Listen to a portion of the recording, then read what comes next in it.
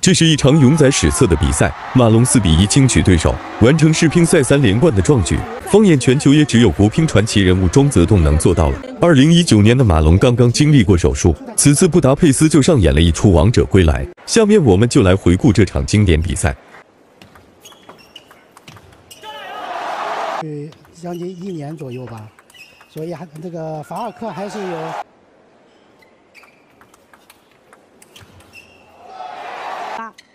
接发球直接正手重炮，马龙七比三领先四分。法尔克接发球挑打直接得分，马龙立马还一个。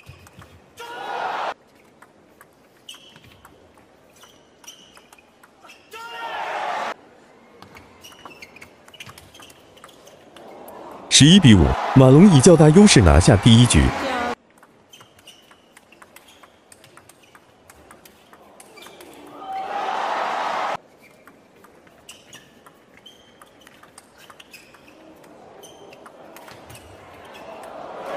而是正交拉。第二局，马龙继续保持优势，比分始终领先两到三分。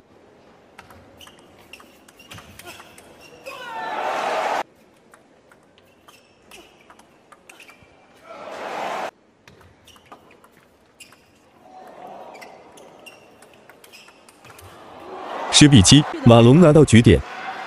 还是白短，马龙侧身，连续两板，对。这个球可以说马龙啊，把。法尔科接发球出界，马龙赢下第二局。这场男子单打决。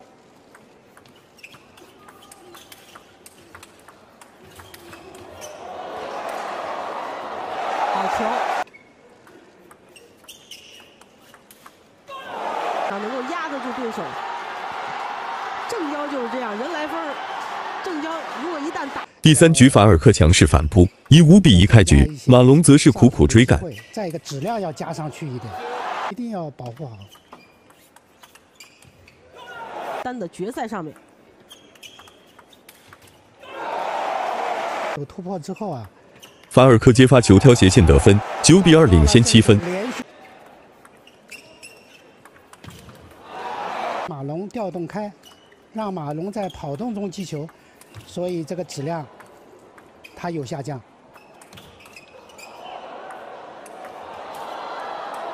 哦，扣反手。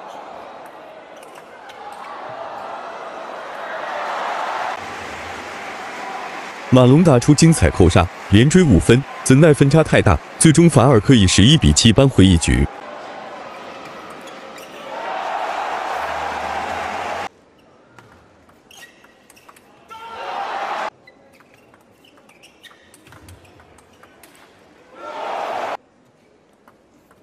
第四局，法尔克状态不减，以五比二领先，但被马龙逐渐赶上。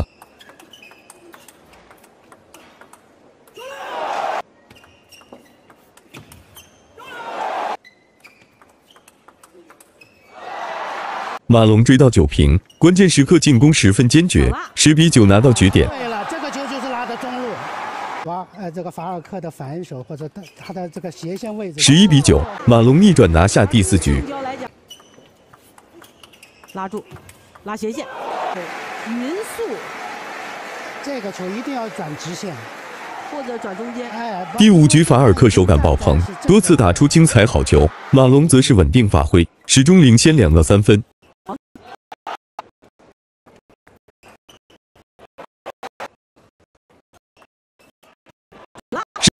马龙再点。十一，马龙。